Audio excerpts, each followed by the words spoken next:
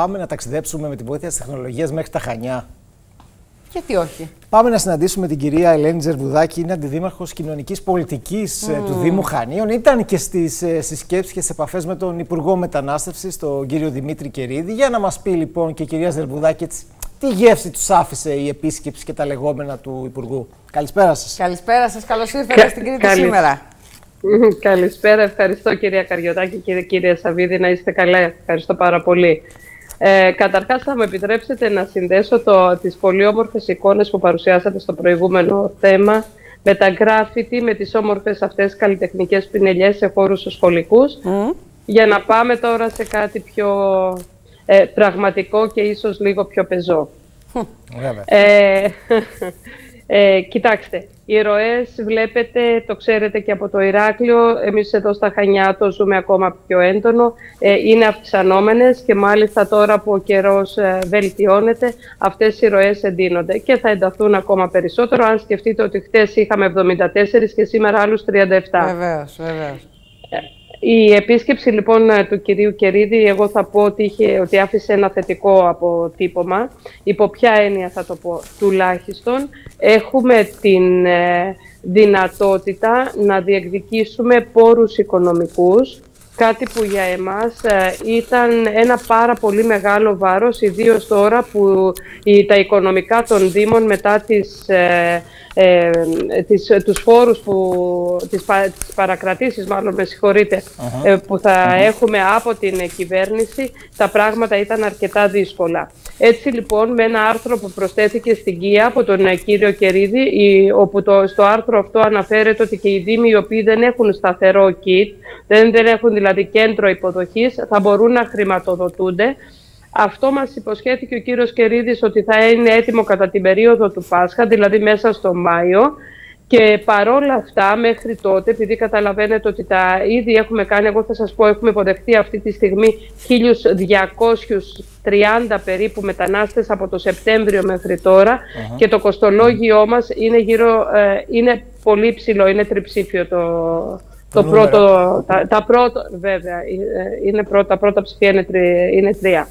Ε, αυτό λοιπόν ε, για μας είναι μια σχετική ανακούφιση. Ε, το Υπουργείο φάνηκε ανοιχτός προς την ε, συζήτηση και τον διάλογο και την κατάθεση των ε, προτάσεων. Δεν έγινε κάποια συγκεκριμένη πρόταση, κυρία Καριωτάκη και κυρία Σαββίδη, από την πλευρά του Υπουργείου. Αυτό αφέθηκε... Δεν, κυρία Ζερβουδάκη, στην... συγγνώμη σας διακόπτω, γιατί είδαμε Παρακαλώ. πάρα πολλά. Δεν έπεσε στο τραπέζι από πλευράς Υπουργού μια πρόταση για μία ή δύο προσω... δομές προσωρινής φιλοξενίας, να το ξεκαθαρίσουμε εδώ στην Κρήτη, μεταναστών. Σαφώς, απλώς το Υπουργείο δεν έθεσε δική του ε, επιταγή, θα έλεγα εγώ. Ε, το άφησε ελεύθερο ε, μεταξύ ημών να αποφασίσουμε για μία ή δύο μονάδες προσωρινής, όπως πολύ σωστά το τοποθετήσατε, φιλοξενίας, γιατί είμαστε περιοχές transit. Δεν θέλουν να μείνουν στην Κρήτη, δεν υπάρχει λόγος να μείνουν στην Κρήτη. Οι άνθρωποι θέλουν να, φύγουν, να πάνε προς την κεντρική Ευρώπη. Άρα καταλαβαίνετε ότι δεν μιλάμε για κιτ εδώ στην περιοχή μας, στο νησί μας. Ε, αυτό λοιπόν σας λέω το άφησε ανοιχτό το πεδίο μεταξύ μας ε, η Δήμη, η Περιφέρεια να μπορέσουμε να δώσουμε εμείς τη δική μας απάντηση. και υπάρχει σχετική συζήτηση κυρία Ζερβουδάκη, έχουμε ξεκινήσει να συζητάμε για το πού και πώς; Για το πού και το, για το πώς, όχι. Ε, υπάρχουν ψήθυροι, αλλά ακόμα δεν υπάρχει κάτι το οριστικό. Ε, να σας πω κάτι. Από τη στιγμή που εμείς σαν Δήμος Χανίων, ε, σαν Τμήμα Κοινωνικής Πολιτικής συγκεκριμένα, ε, ο χρόνος διάθεσης της κατασκήνωσης του Καλαθά είναι περιορισμένος. Καταλαβαίνετε ότι από εκεί και πέρα τα πράγματα θα δυσκολεύσουν, άρα θα αναγκαστούμε να βρούμε μια γρήγορη διαφορετική λύση. Είτε στα Χανιά είναι αυτό, είτε οπουδήποτε αλλού. Όταν λέμε προσωρινής ε, φιλοξενίας, κυρίας Ζερβουδάκη, δηλαδή μιλάμε για δύο-τρει ημέρες, κάτι τέτοιο, για να, το, να το ξεκαθαρίσουμε λίγο. Πολύ όμορφα το τοποθετήσατε κύριε Σαββίδη και ευχαριστώ. Ε, κοιτάξτε, το λιμενικό κάνει εξαίρετη δουλειά στα Χανιά και όταν λέω εξαίρετη πραγματικά ευχαριστώ θερμά και από την εκπομπή σας τους ανθρώπους του λιμενικού, τον λιμενάρχη τον κύριο Γιαννουλάκη, τον υπολιμενάρχη τον κύριο Κοκολογιάννη, όλους οι οποίοι συνεργάζονται απίστευτα πολύ και δυνατά έτσι ώστε σε δύο το πολύ τρεις ημέρες αυτοί οι άνθρωποι να φύγουν και να μεταβούν στη Μαλακάσα. Στο συγκεκριμένο όμως σημείο θα με επιτρέψετε να ευχαριστήσω και τον προϊστάμενο της ε, Τόμη, τον κύριο mm. Τουκάκη, ο οποίος με, την, ε, με το λίγο προσωπικό που και αυτός διαθέτει, πραγματικά καταβάλει τα μέγιστα έτσι ώστε ιατρικά τουλάχιστον να υπάρξει η διαβεβαίωση ότι οι άνθρωποι είναι υγιείς και μπορούν να ταξιδέψουν. Βεβαίως.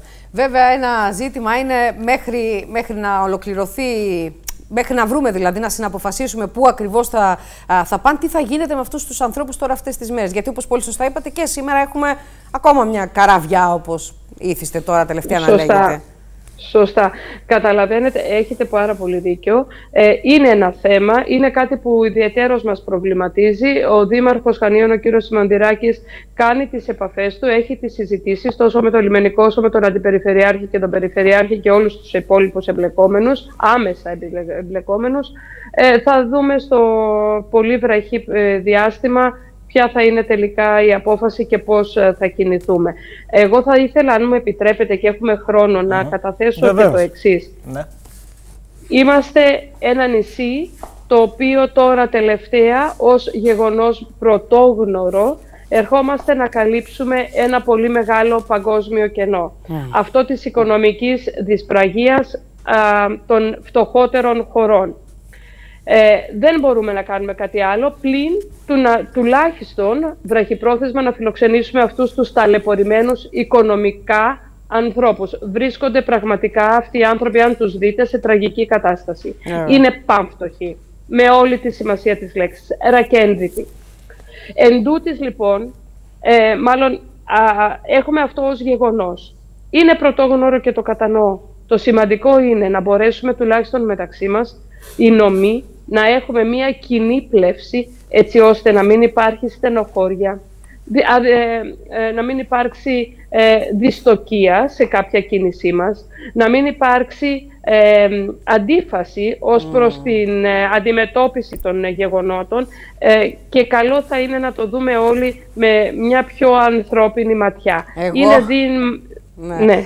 Εγώ από αυτό, κυρία Ζερβουδάκη, που λέτε τώρα, καταλαβαίνω ότι δεν έχω πέσει πολύ έξω. Όταν την πρώτη στιγμή που ακούσαμε ε, την παρένεση του Υπουργού, ε, λέγαμε εδώ, δεν πέσαμε πολύ έξω, όταν λέγαμε ότι θα δούμε τώρα πώς και πώς θα συνεννοηθούν οι Δήμοι. Γιατί ο ένας δεν θα θέλει, ο άλλος δεν θα θέλει, ο τρίτος πάρ' τους εσύ, όχι γιατί να τους πάρω εγώ να τους πάρεις εσύ κτλ. κτλ και θα βρεθούμε πάλι εκεί που είχαμε ηρεμήσει από θέματα τέτοιου είδους. Ε; Ναι, σωστό, γιατί αυτό που λες Μέρη, ναι, μπροστά γιατί είχαμε Υπουργό... ηρεμήσει από τέτοιου είδους ναι, θέματα. και μπροστά στον Υπουργό νομίζουμε ότι όλοι έδειξαν έτσι μια ψύχρεμη, μια ήπια στάση, αλλά τώρα στο μετά, και αυτό ναι. που λέει και η κυρία Ζερβουδάκη, όντως μένει να δούμε αν θα διατηρήσει το ίδιο ή θα ξυπνήσει λίγο ο ανταγωνισμός. Όχι, πάρτε εσείς, δεν θέλουμε εμείς. Κάποια φαινόμενα που όπως λες, τα έχουμε δει και στο παρελθόν. Ναι.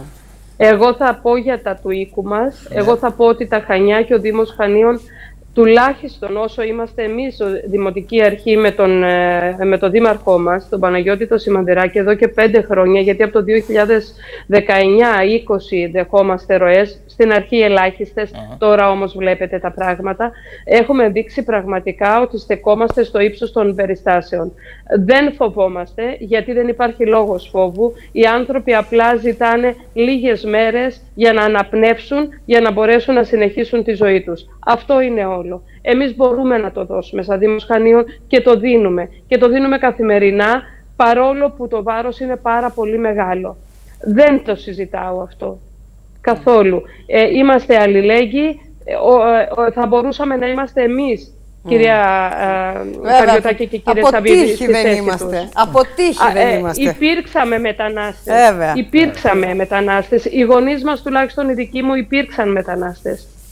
Έτσι. Και το σημαντικό... Άρα ας, ας σκεφτούμε σε ένα ευρύτερο πλαίσιο, α ας σκεφτούμε λίγο μακροπρόθεσμα και λίγο πιο μπροστά, γιατί δεν ξέρουμε ζωή τι μας επιφυλάτει. Βέβαια. Και το σημαντικό πάντως που κρατάμε είναι αυτό για τη χρηματοδότηση. Mm. Βεβαίως δεν ξέρω αν σας δόθηκε μια εικόνα, θα υπάρχουν κριτήρια, γιατί και εκεί δεν μπορούν να δοθούν χρήματα, φανταζόμαστε, σε όλους τους Δήμους που, προσω... Ε, που φιλοξενούν έστω προσωρινά. Αλλά... Όχι, όχι, αλλά θα δοθούν όμως σαφώς, κοιτάξτε, η Ευρωπαϊκή Ένωση ναι. ε, έχει κονδύλια και πολλά μάλιστα, μεγάλα κονδύλια για αυτή ακριβώς ε, την κατάσταση, για τους μετανάστες. Όταν λοιπόν έρθει η, περάσει η τροπολογία, περάσει το άρθρο του Υπουργού, τότε δεν θα έχουμε κανένα πρόβλημα να ζητήσουμε όσα χρήματα χρειάζονται, όσα χρήματα έχουμε δαπανίσει για αυτόν ακριβώς το σκοπό. Τώρα, στο εδώ και τώρα, μας είπε ο Υπουργός ότι μπορούμε να ζητήσουμε και θα μας δώσει έκτακτες επιχορηγήσεις από ιδίους πόρους ε, του κράτους, ε, αλλά με φιδό, προκειμένου να καλύψουμε μερικώς τα έξοδα που μέχρι τώρα έχουμε δημιουργήσει. Μάλιστα. Σας ευχαριστούμε πάρα πολύ. Βάλατε τα πράγματα στη σωστή τους διάσταση και πολύ σας ευχαριστούμε γι' αυτό. Και εγώ και εγώ ευχαριστώ. Καλή συνέχεια να έχετε. Και σε εσάς. Και σε εσάς καλή συνέχεια.